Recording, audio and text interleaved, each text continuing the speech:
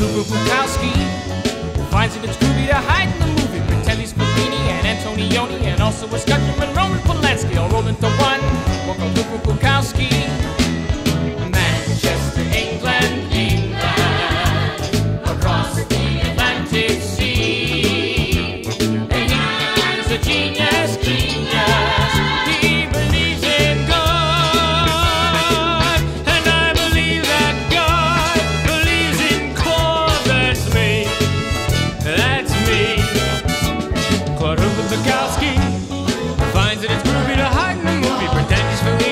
Antonioni, and also his countryman Roman Polanski all rolled into one.